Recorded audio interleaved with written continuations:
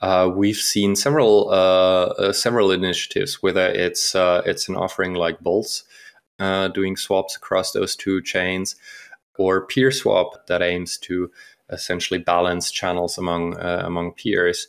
Both of these use Liquid as a way to transfer value in a high fee environment, sort of outside of the congested areas, and the integrations uh, go even further. Uh, a couple of years ago, we had uh, we we published a version of Core Lightning that has support for Liquid BTC, and even Liquid BTC is is, is still maintained to this day. And so, one could, for example, spin up a a an end user network inside of Liquid because opening channels in liquid is isn't as expensive and it takes it takes less time due to the shorter and more regular block in block rate.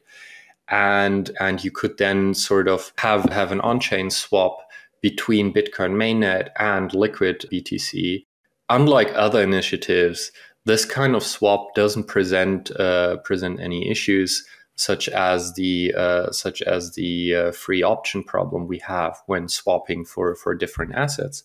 LBTC and BTC being per perfectly interchangeable mean that a swap can go through just as if it were just on the same network. And as such, we can bridge the gaps between between these two networks and facilitate fast exchanges of values between these two networks. So I see I see most of these complementary systems slowly getting integrated with each other, be that Liquid, Lightning, PeerSwap, uh, other swapping technologies.